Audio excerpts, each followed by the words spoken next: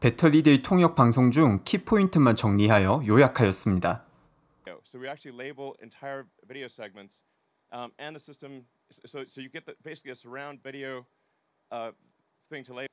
Um, I think we'll, we'll hopefully release uh, a private beta of, of Autopilot, or the full self-driving version of Autopilot, in I think a month or so, uh, and then people will, will really uh, understand just the magnitude of the change. It's, it's profound.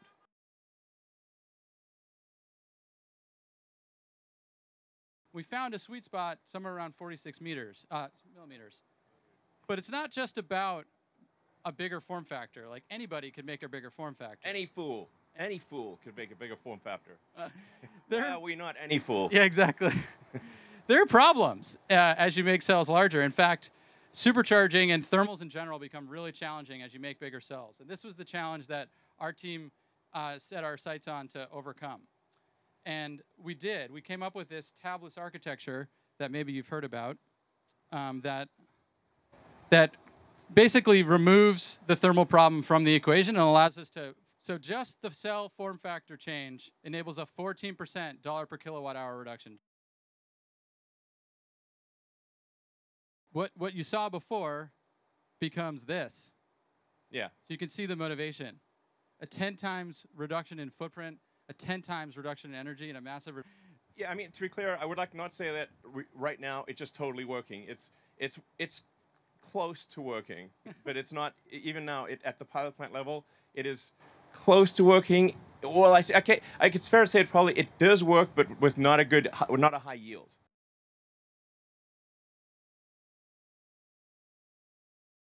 On the highway. Yeah. And together with our internal design team that makes this equipment and designs this equipment, we coupled thinking about how to make the best cell with thinking about how to make the best equipment so that we could accomplish the fastest parts per minute rates on all of these tools.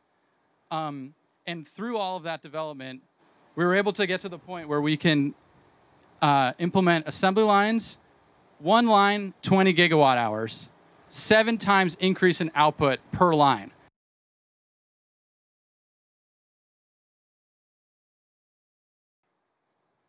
Yeah, so uh, uh, this, this is just for, uh, this is just talking about uh, Tesla internal cell production.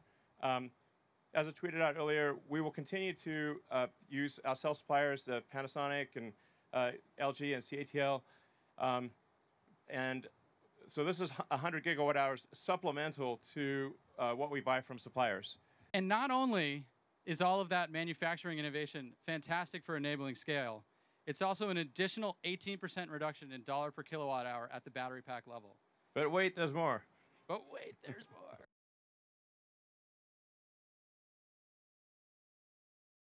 Um, and in the end, by leveraging this silicon to its potential, we can increase the range of our vehicles by an additional 20%, just this uh, improvement. Yeah, it gets cheaper and longer range. And, and when we take that anode cost reduction, we're looking at another 5% dollar per kilo, kilowatt hour reduction at the battery pack level.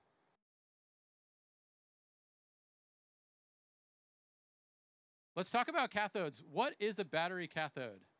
Cathodes are like bookshelves where the metal, you know, the nickel, the cobalt, the manganese, or aluminum is like the shelf, and the lithium is the book. And really, what sets apart these different metals is how many books of lithium they can fit on the shelves. And um, you, you, need, you need a stable structure uh, to contain the ions. Um, as you're moving these ions, ions back and forth, uh, you, you, it needs to retain its structure.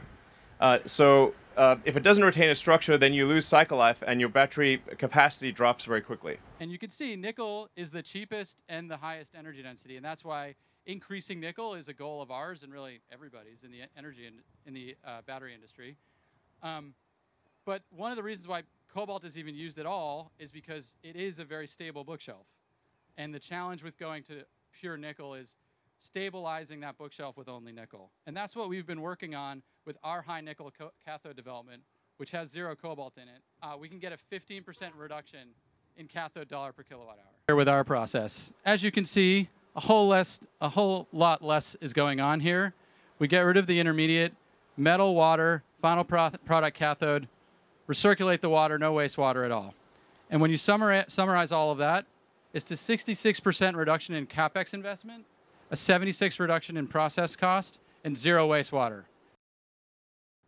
All of the benefits that you just saw are added to this benefit of a 12% reduction in dollars per kilowatt hour at the battery pack level.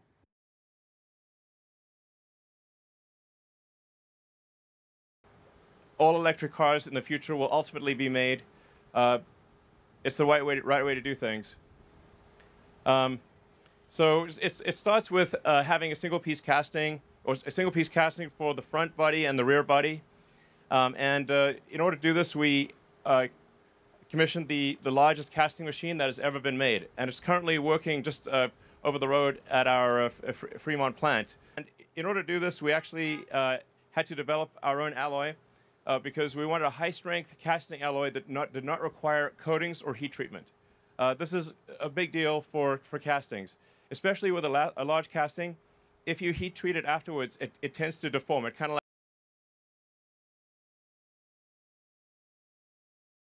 so um, it- it also allows us to pack the cells more densely because we do not have uh, intermediate structure in the battery pack.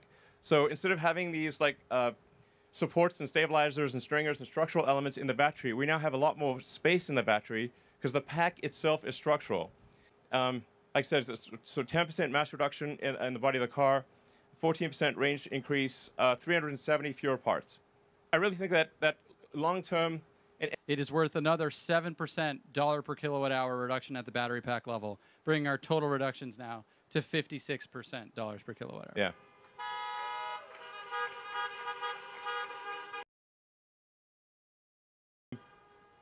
Yeah. So what what this uh, enables uh, us to do is achieve a new trajectory in the reduction of of uh, cell cost.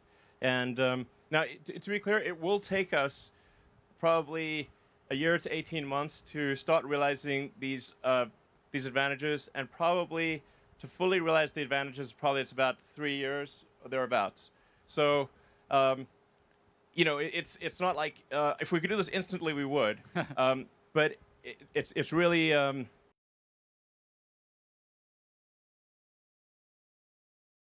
이번 배터리 데이에서 정말 놀라운 내용이 많이 나왔고 배터리 비용 절감 수치가 올라갈 때마다 저도 깜짝깜짝 놀랐습니다. 하지만 이런 비용 절감 수치는 무려 3년 뒤에 성취할 수 있는 내용을 지금 대담하게 발표한 것이었습니다. 물론 일론 머스크의 과거 행보를 본다면 충분히 이를 현실로 바꿀 수도 있겠지만 투자자분들에게는 이 계획이 실패할 가능성이라는 무시할 수 없는 리스크도 분명 존재합니다. 이번 배터리 대회를 통해서 진보된 기술과 청사진을 제시한 것은 정말 잘한 일이 맞지만 그와 동시에 지금 당장 이뤄진 내용과 청사진을 조금 더 구별하고 어느 정도의 비용 절감이 당장 일어난 것인지를 조금 더 명확하게 말해줬다면 더 좋지 않았을까 하는 생각이 드네요. 저는 개인적으로 일론 머스크라는 사람을 무지 좋아하기 때문에 분명 리스크가 큰 계획을 발표하였지만 이 계획을 차근차근 실행시키며 리스크를 리턴으로 바꿔줄 것이라 생각은 합니다. 다만 일론의 과거 행보에 비춰봤을 때 56%의 비용 절감이라는 이런 엄청난 업적은 일론이 제시한 3년보다는 조금 더 천천히 진행될 가능성도 존재할 것 같습니다. 마지막으로 오늘 통역 방송을 통해서 무려 2만 5천 명이 넘은 동시 시청자분들 그리고 만 명이 넘는 새로운 구독자분들께 모두 진심으로 감사드립니다. 앞으로도 도움이 될 수 있는 영상을 차근차근 준비하도록 하겠습니다. 다시 한번 감사드리고 오늘도 좋은 하루 되시길 바랍니다.